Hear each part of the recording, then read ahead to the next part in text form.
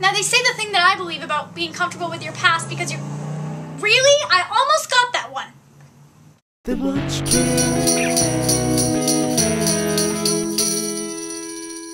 Regret. I've always thought that I had an original opinion of regrets. Although I realize now that it's silly of me to think that I could be original in anything, but that's a different topic. Although I used to be the type of person that had regrets, that was before I was happy and comfortable with who I was at the time.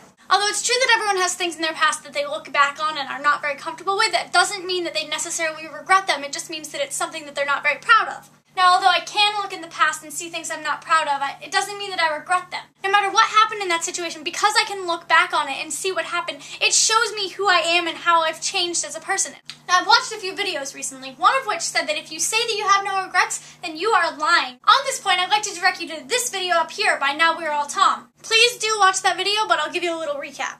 In the video, he says that when Angelica reaches a certain age and can no longer remember talking to the baby, she will be a little bit different. Now, this is taking as fact that our experiences and our memories make us who we are. Now, by seeing all that, you'll see that what I'm saying does actually make quite a bit of sense. I do believe strongly in the butterfly effect. I believe that some little change could actually change an entire person or an entire event. So if perhaps I didn't hurt that person that I hurt in fifth grade or whatever the situation is, then maybe I would have hurt someone later on in life and that would have caused a terrible tumble effect of bad situations and well, it's a little overwhelming to think about. Regret is basically saying that you wish something hadn't happened, and I can't wish that anything hadn't happened in my own past. I just can't, because if I reject those things that have happened in the past, then I'm rejecting me now.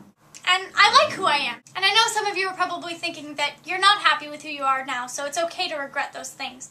What you have to do then is get to a point where you're comfortable with yourself. If it's a habit, you can always break it. If it's a physical thing, you can always change your mentality and work at it so that you're comfortable and happy with who you are. I'm getting a little preachy and love yourself kind of thing, and I've done that before, so I'm just gonna leave it there. Anyway, you should really go check out that video by Now We're All Tom. I'm gonna put it back up there. It's awesome. I love that guy. Go check him out.